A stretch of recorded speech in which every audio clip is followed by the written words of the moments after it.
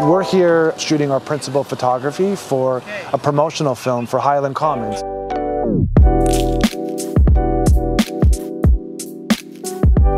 Get this show on the road.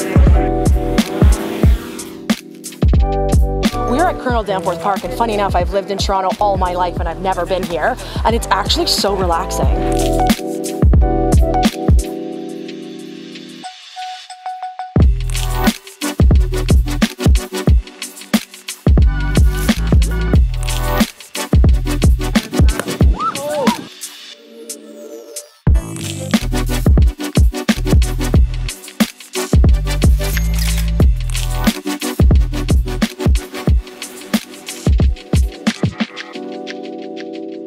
We're using this antique car as the catalyst for our talent to drive through the neighborhood to feature all the incredible location amenities.